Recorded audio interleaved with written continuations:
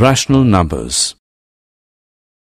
Now if we see between the numbers 0 and 1 or 1 and 2, we will see numbers like 1 by 4, 3 by 4 and so on. The collection of these numbers is called rational numbers. Rational numbers are denoted by the symbol q.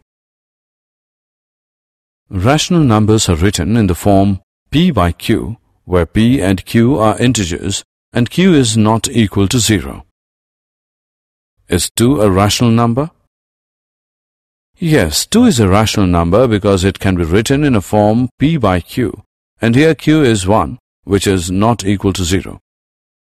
In the same way, 10 minus 10 minus 25 etc. are also rational numbers. Therefore, we can say that the rational numbers include natural numbers, whole numbers and integers. For more such videos on all subjects, practice questions and a lot more, download iPrep and learn unlimited.